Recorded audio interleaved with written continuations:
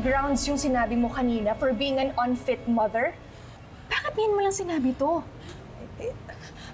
Attorney, matagal na yun eh. Hindi ko na ginagawa yun. Hindi na ako gumagamit. Noon pa yun. Nagbago na talaga ako. Yung ano lang, yung pag-inom ko lang naman talaga.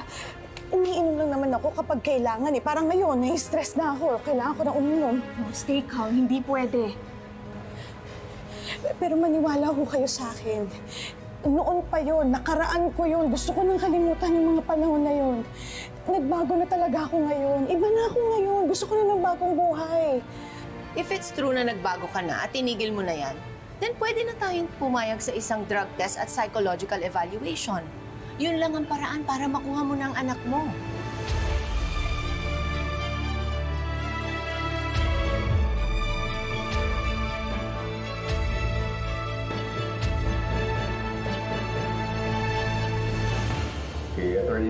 Kayo dapat magpasalamat. Dahil siya yung nakaisip ng strategy sa cross-examination. Eh, sa kakanood ko ng teleserye, tsaka ng reenactment ng Abot Kamay na Katarungan. Pero salamat, Attorney Ignacio. Malaki ang naitulong mo. Ito naman. Buti naman, nare-recognize mo yung mga ambag ko, Attorney Matias. Attorney, nadala talaga ako kay Ninya kanina eh. Naawa ako sa kanya. Kailangan ba talaga yung ginawa natin para para mapatunayan na unfit unfit mother ba yun? Um, kailangan natin mapalabas yan sa korte. Kailangan natin magkaroon ng rason para mapatingnan si Nina. Kung nasa tamang pag-iisip pa siya maging isang ina, at kung magaling na siya sa pagiging alcoholic at paggamit niya ng illegal na droga. Yes, my love. I'm fine. I'm okay.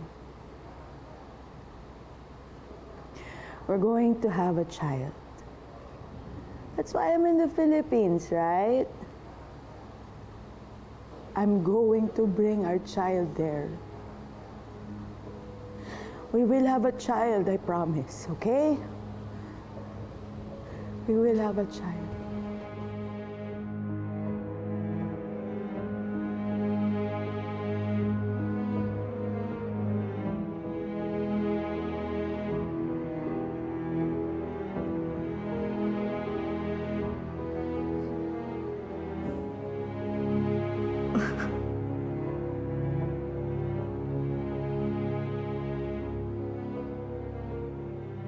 Ano